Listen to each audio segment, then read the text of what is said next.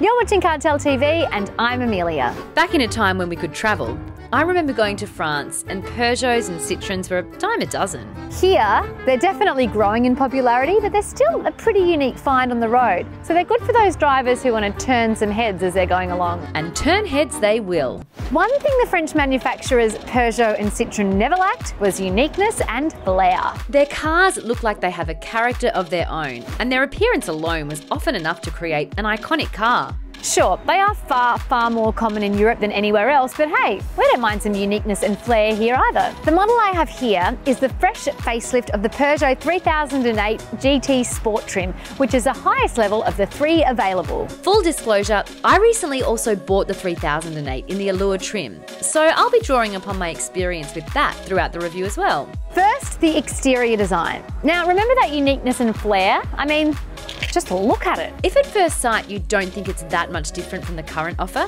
here are some of the European competitors. Here's a VW Tiguan, and this is a Skoda Karoq. It's significantly different, right? Even if we go well up the price ladder. We get models like the Mercedes GLC or the BMW X3. Yes, they look good, but A, they are a lot more expensive, and B, they have their own unique styling that seems to target a different set of buyers. I mean, they do draw attention, but for different reasons.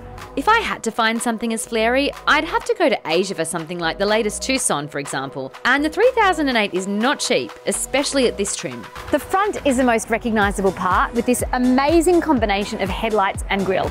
I personally love it. These elongated upright things under the headlights are turn signals. And look at how weird the wipers are placed in the most upright position. With these French cars, you never quite know if that's just a unique styling feature or if it has an actual practical purpose. When you experience a new car for the first time, it's a bit of a getting to know you process. Look, anything can suddenly start blinking, a camera may appear, or in this case, it's the weirdest looking boot unlock button you've ever seen. And something that's a little bit quirky about this one is you have to push the buttons really hard, like the stop start button and the boot button. The lower section of the front is less in your face. It's a bit angular and sharp, but that's about it. And that is a good thing because you just do not want it detracting from these headlights and grille. The side is also a bit sharper with a bunch of smaller creases, cladding around the wheel arches, hugging these 19 inch wheels on this trim. The two lower trims, including mine, have 18 inch wheels, but they look pretty damn awesome too. That flare is not turned off in lower trims. There are three engine options. A 1.6 PureTech turbo petrol with 121 kilowatts and 240 newton meters can be spec'd in Allure and GT. The GT also has a 2 litre blue HDI diesel option with 131 kilowatts and 400 newton meters. The very top GT Sport is the only one that gets a 1.6 turbo petrol with 133 kilowatts and 250 newton meters. Basically, a more powerful version of the engine in the Allure. Yep, the difference between the less and more powerful petrol options is very small, but the main difference difference is in the gearbox. In the lesser model, you get a 6 speed automatic, and here you have the latest 8 speed option, and the difference is noticeable. A hybrid is hinted at, and look, if I wasn't so impatient, I probably would have held out for that one, but I just wanted to drive one out the door. However, I am really excited to see what that drives like when it arrives. All petrol engines get the max torque at around 1500 revs, so that makes driving any of them pretty easy. The diesel gets top torque at 2000 revs, but with so much, there's actually a lot of it in the lower revs as well. Actually, more than in the petrols. While the diesel is definitely the more confident option when it comes to push, the petrol is definitely the top choice in this trim level. It is just so wonderfully smooth, less harsh than the diesel, and powerful enough. Yes, you do notice the added torque of the diesel, but this one is very responsive. It's really quick off the mark and super smooth. It has all the power you need in a vehicle like this one, and it's more relaxed. Look, this one does have a few extra kilowatts, and yes, you do notice it now and then, but for my purposes, the Allure is perfectly adequate. Thank you very much. Handling is also okay for this class. It's not to be thrown around like a sports car, but it's agile enough. The suspension is geared towards comfort, which is something that French models are quite famous for, but not so badly that it feels uncomfortable to drive. Official fuel consumption for this engine is 5.6 litres combined. I've been doing mostly city driving with a little bit of motorway, but that's probably how most drivers will use the 3008. So you'll be pleased to know that I enjoyed averages of around 7.3 to 7.8 litres in these conditions. While talking about the weird things, I mentioned wiper position when upright. Now, I haven't had the chance to test the European model, but I believe that this feature is a carryover from left-hand drive markets. I have to say it is a little bit strange having the wipers come this way in front of the driver. It definitely feels like it was built for a European model where the wheel is on that side of the car. I mean, it's not a huge issue, it certainly doesn't prevent you from seeing the road, but it's just a bit strange. The rear window is also pretty small, which is pretty standard for this class. I'll give it a pass because it is quite common and it helps with the cool styling and you get the camera. On the inside, it does help that this is the top trim as it adds that extra bit of class. But the overall design is just awesome. Just look at this steering wheel. Or the separated central console with the gear shifter and these really cool buttons. The 12.3 inch digital instrument cluster is high res and placed above the steering wheel. Also something that's not common. And this section in front of the passenger is simple, but it works like a charm with the central console. The one thing that does kind of let it down a little bit is this infotainment screen. Yes, it's a good screen, perfectly placed, decently sized at 10 inch. It's got all the standard bells and whistles and connectivity options, but it just looks like it's from any other vehicle.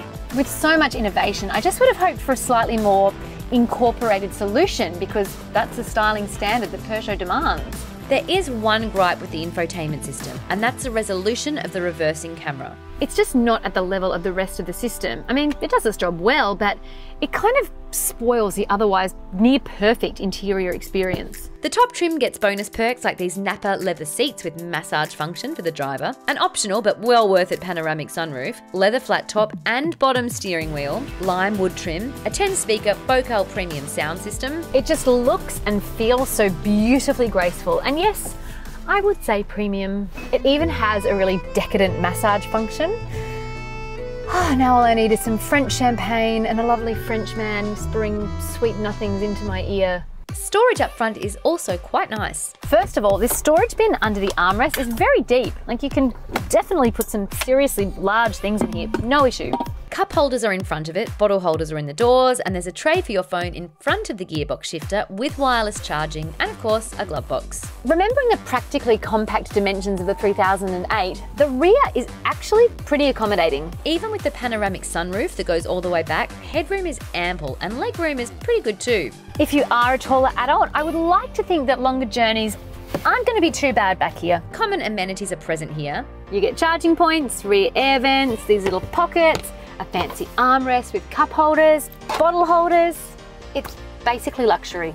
I do fit a baby seat in the back of mine. Now it's for toddlers 1 to 4 and my young Archie approves of the back seats. The boot is also really great for this segment with 591 litres of space. And look, the boot size was actually the clincher in us getting this particular car. Fold the second row and fill it to the roof and you get up to 1670 litres of space. It's really nice. Moreover, the opening is wide and the load lip is small, meaning that it's really easy to load in bulky items, which I need to.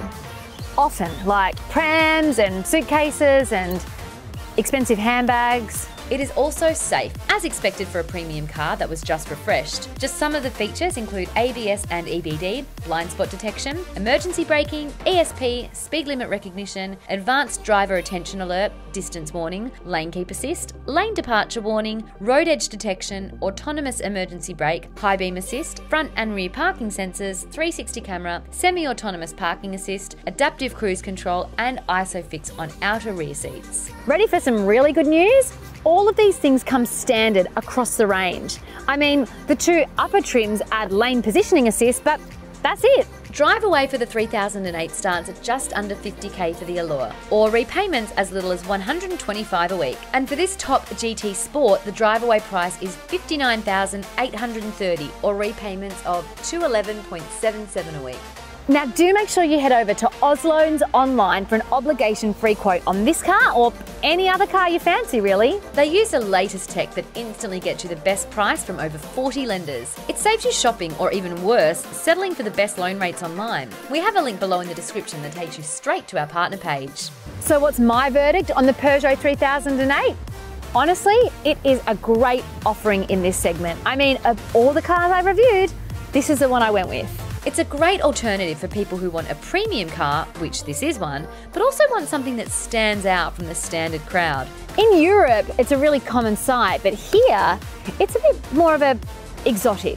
And a lot of buyers looking for a stylish SUV of this size will enjoy a bit of uniqueness. Other than that, the 3008 offers a good ride, great interior quality, and practicality.